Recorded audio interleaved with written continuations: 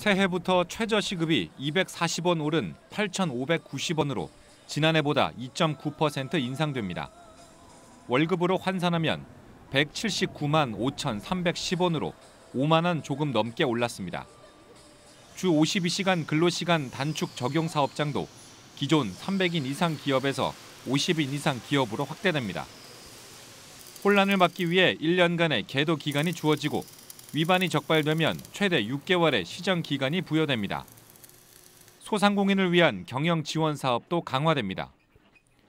경남에서 사업자 등록 6개월 이상 된 소상공인에게는 점포당 200만 원 이내의 경영 환경 개선 비용이 지원됩니다. 또 폐업할 경우 최대 150만 원의 철거 비용도 제공되고 1인 자영업자에게도 고용 산재 보험료 일부가 최대 3년간 지원됩니다. 부산의 경우 창업과 폐업이 많은 업종의 소상공인에게 경영 컨설팅이 지원됩니다. 전국 최초로 경남 창원시는 전세 보증금 반환 보증 보험료를 지원합니다. 이 제도가 보증금을 돌려받지 못한 세입자를 보호하는 대책인 만큼 창원시는 1억 원 이하 공동주택 세입자의 보증 보험료를 연 0.173% 수준까지 지원하기로 했습니다.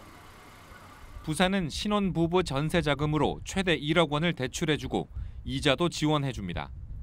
지원 대상은 부산에 사는 5년 이내 무주택 신혼부부 1천 가구입니다.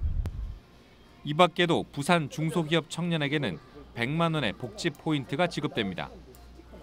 경남은 경제 사령탑 역할을 할 경상남도 경제진흥원이 올 7월 출범해 경남의 각종 경제 정책을 담당합니다. 헬로티비 뉴스 성국혜입니다.